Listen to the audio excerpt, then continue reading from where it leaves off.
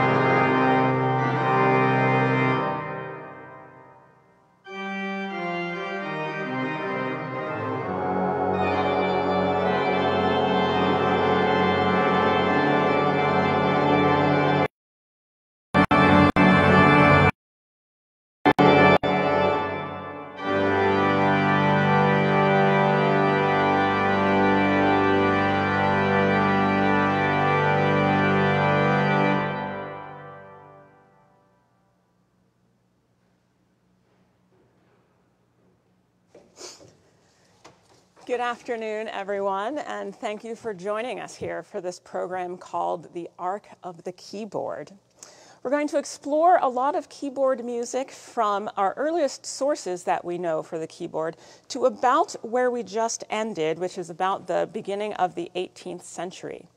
Keyboard music, of course, spans a little over 500 years, and we only have an hour, so our arc has to be just a little bit on the smaller side. So now we're going to jump back to the beginning to a work called Mit ganzem Willen by Konrad Paumann. This piece is found from the Locheimer Liederbuch, which is a collection of pieces uh, from the 15th century that includes uh, what they called intabulations, what we would call arrangements of vocal music or arrangements of instrumental music for keyboard.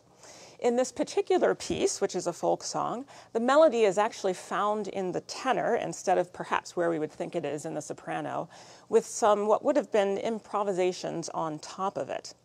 And the sounds that I'm going to use for the keyboard, you are lucky that you get to, to sort of see the keyboard while we were playing here, so you'll be able to see where I switch manuals and where we switch stops. I'm going to start with a fairly simple sound at the beginning, and then move to another sound which perhaps mimics the sound of a, of a consort or a group of instruments that may have played this particular piece.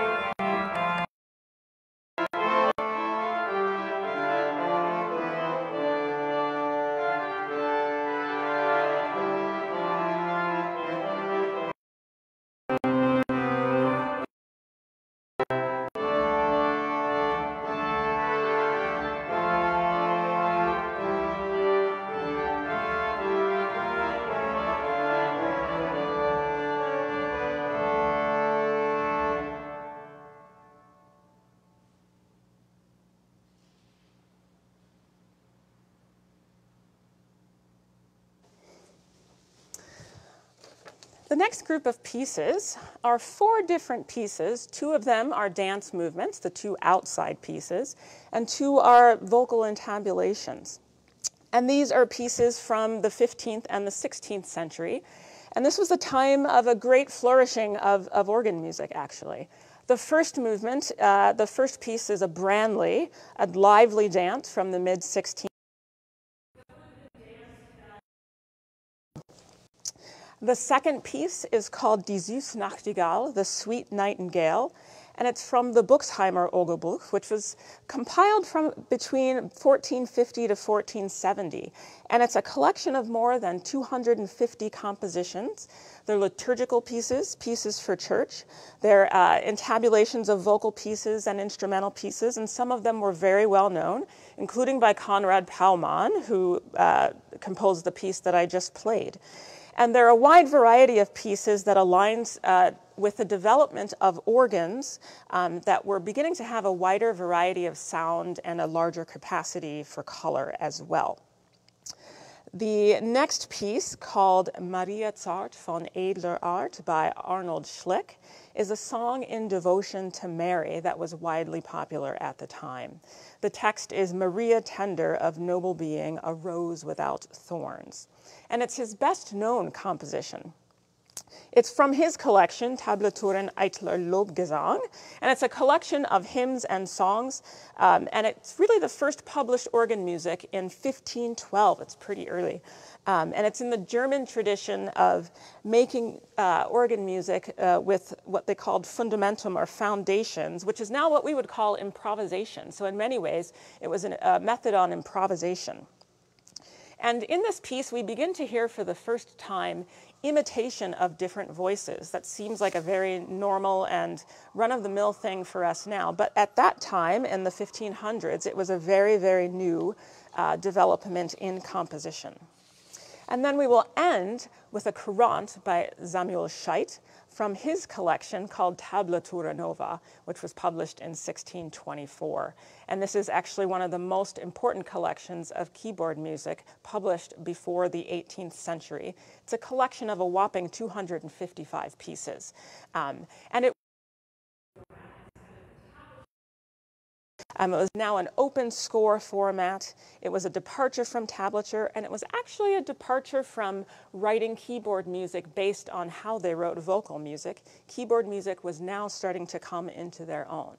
So these four pieces, the dance of Branle, two vocal pieces, and then ending with another dance by Scheidt.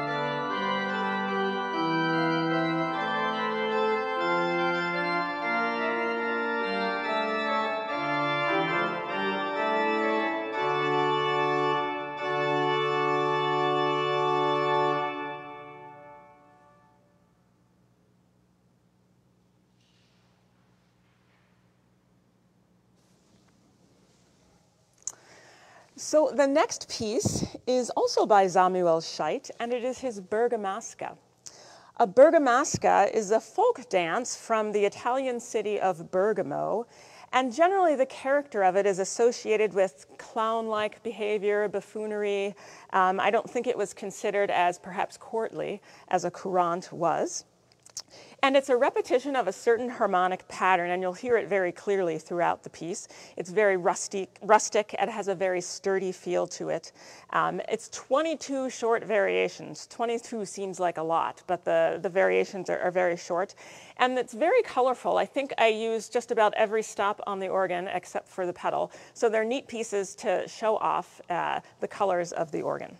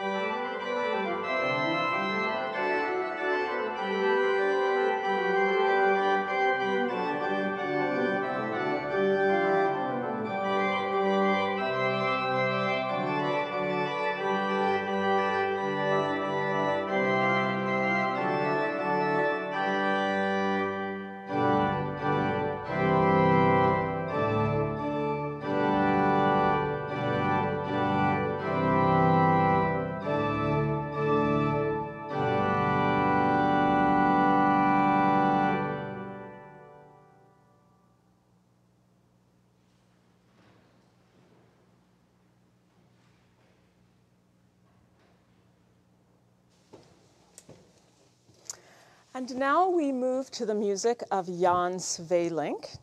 Jan Sweelinck was hugely, a hugely famous composer, organist, and teacher. He was the organist at the Old Church in Amsterdam in the Netherlands.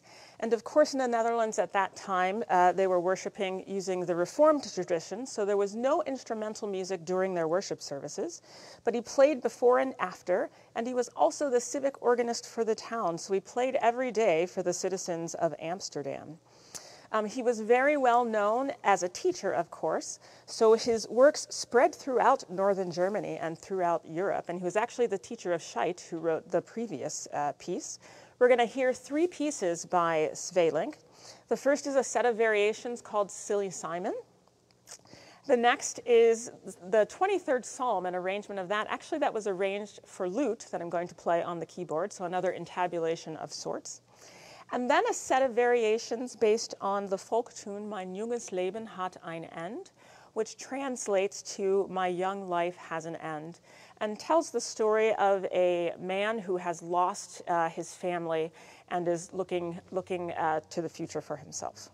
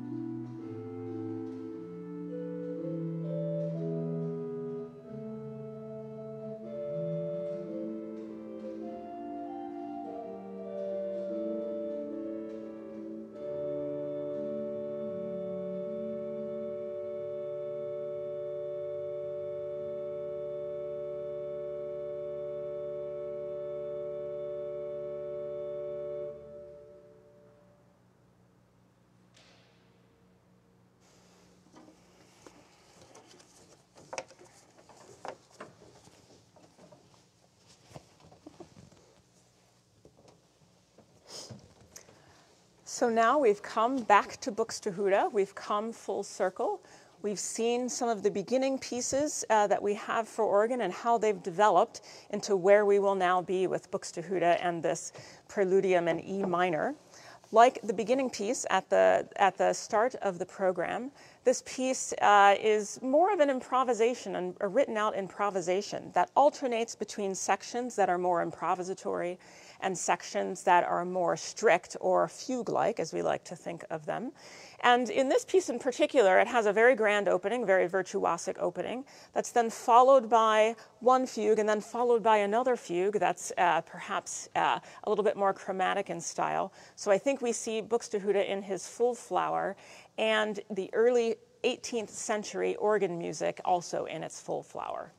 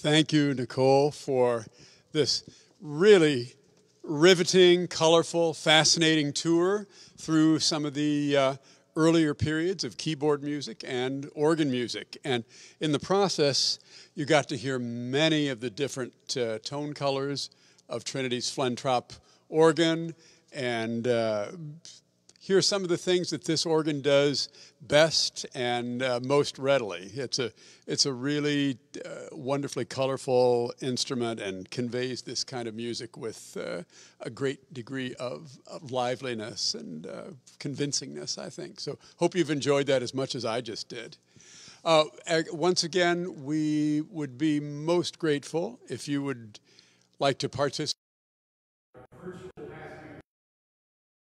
Uh, supporting the brown bags with the link that you find on the screen now, or by sending a check to Music and Art at Trinity Cathedral and putting it in the mail to 2230 Euclid Avenue, Cleveland, Ohio 44115, and just put Brown Bag Concerts in the memo line of your check.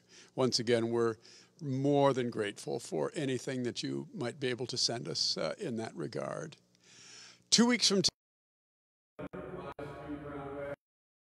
different uh, musical format, two violinists and a pianist. And the uh, title is Dueling Divas. So we'll have two of our favorite violinists, Andrew Sords and Mari Saito, accompanied by the redoubtable Elizabeth DeMio on the piano. And they're going to play uh, violin duo masterworks and fireworks. So it's going to be who can outdo the other in kind of a, a, friendly competition between the two violinists. So that promises to be a really uh, fun program, and we hope you'll plan to join us. That is at noon on the 18th of November, two weeks from right now, right back here at Trinity Cathedral. Stay safe, stay well in the meantime, and we look forward to seeing you then. Thanks for joining us today.